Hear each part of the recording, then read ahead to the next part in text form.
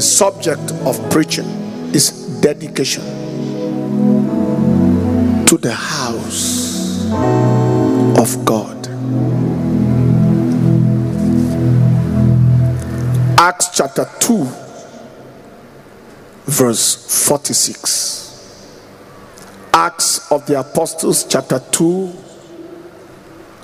And they continuing daily with one accord in the temple and breaking of bread from house to house did eat their meat with gladness and singleness of heart. The emphasis is daily in the temple. Verse 47. Praising God and f- having favor with all the people, and the Lord added to the church daily such as should be saved. Acts chapter 5, verse 42. And daily in the temple and in every house they ceased not to teach and preach Jesus Christ.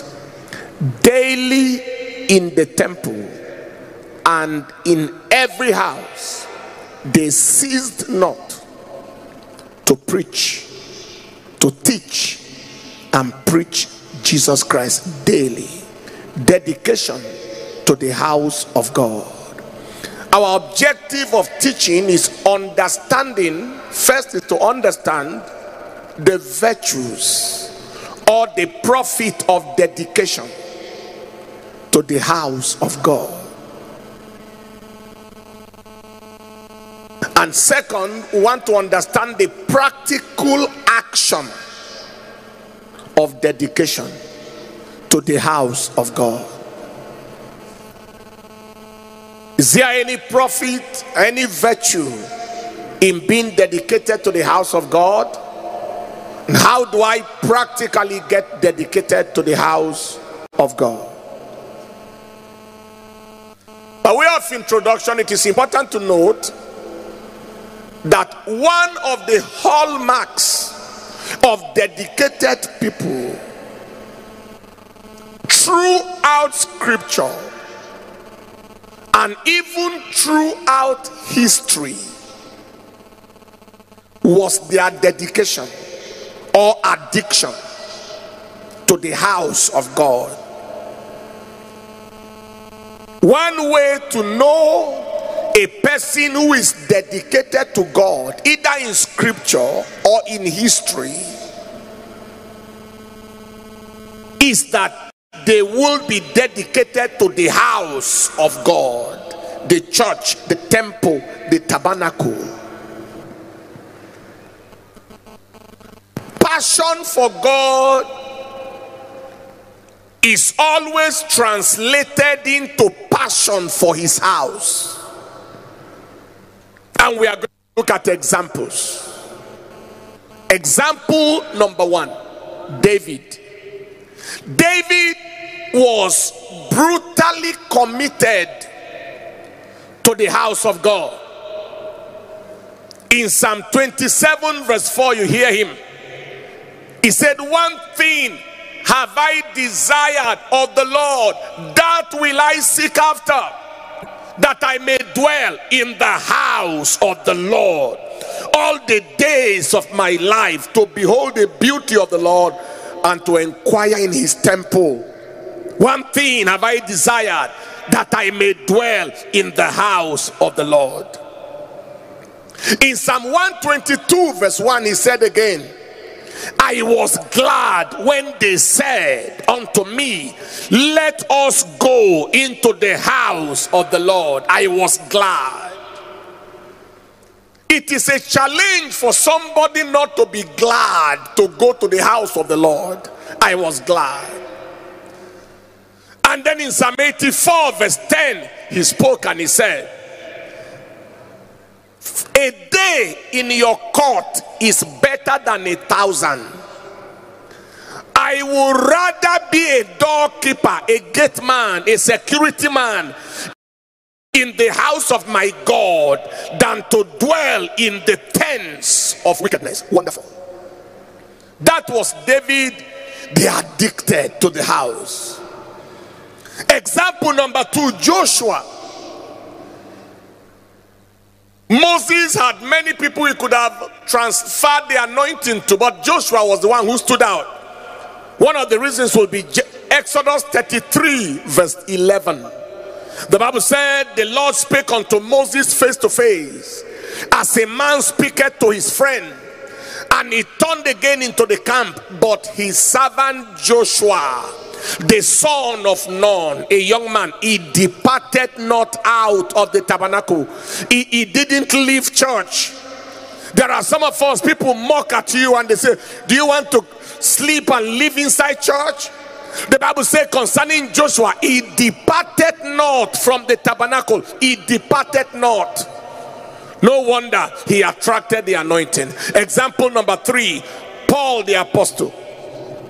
Paul the apostle, according to scripture, was a man who was doggedly committed to the house of the Lord in Acts of the Apostles, chapter 17, verse 1 to 2. Acts of the Apostles, chapter 17, verse 1 to 2. He said, Now, when they had passed through Amphipolis and Apollonia, they came to Thessalonica, where there was a synagogue of the Jews, and Paul, as his manner was, he had a manner. As his manner was, he went into that synagogue and three Sabbath days he reasoned with them out of scriptures. That is, Paul had a manner, he had a behavior that every town he went into, he must look for church, as his manner was.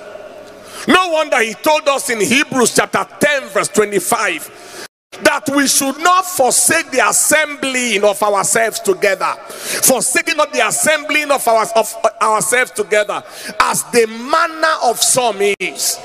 But exhort one another and so much the more as you see the day approaching. Don't don't don't take pleasure in being away from church like the way some people are my own manner is to be in church. Don't follow the other manner. That was Paul the apostle. Example number three. So we have seen the example of David and seen the example of Joshua and seen the example of Paul the apostle. Then the disciples. We already read that in Acts of, of the Apostle, chapter 2, verse 46.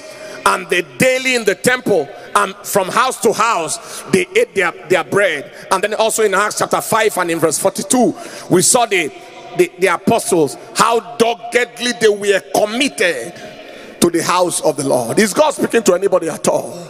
If god is speaking to you here today say loud amen.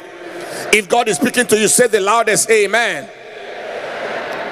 That was the apostles. And then somebody will say what about jesus christ? Ah the master Jesus was rigidly committed. That's our example number five.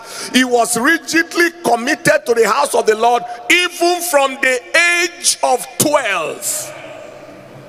You remember when he was missing one day and his mother was looking for him. He said, Don't you know that I should be about my father's business? He was in the temple for three days. Luke chapter 2, verse 46. He said, And it came to pass that after three days they found him in the temple. He remained in church three days non-stop, sitting in the midst of the doctors, both hearing them and asking them questions. From the age of 12, Jesus was a committed churchman, a committed temple person. Is God speaking to anybody here? Now, if you step further, you will look in Luke chapter 4, verse 16 he also had a custom. Luke 4 16. And he came to Nazareth, where he had been brought up.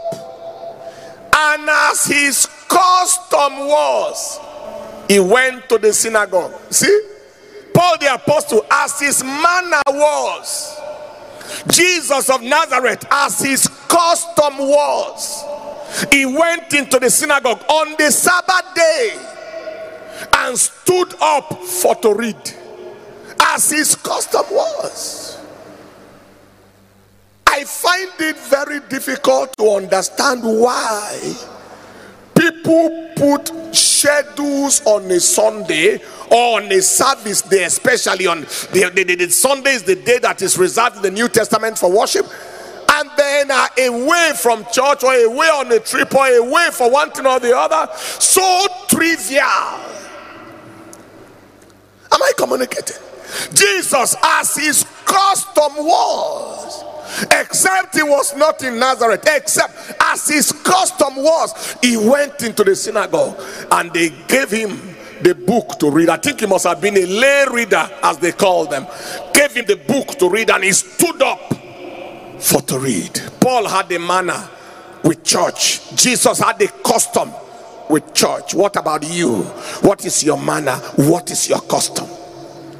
Going further, what are the virtues of the profit of dedication to the house of, of the Lord? Do we only go to church to fulfill religious obligations? Is it just to mark present? Is it just to say I was in church? No. I'll look at seven or so things that we can experience as we go to church. Number one, the house of God is the place of divine encounters. It is the place of divine encounters, the place of supernatural encounters. It is the place where we can encounter the Almighty and we can also encounter angels. They happen naturally in the house. There are so many times here in this church while we are praying and ministering, somebody just had an encounter. At times he saw this and saw that, and something happened.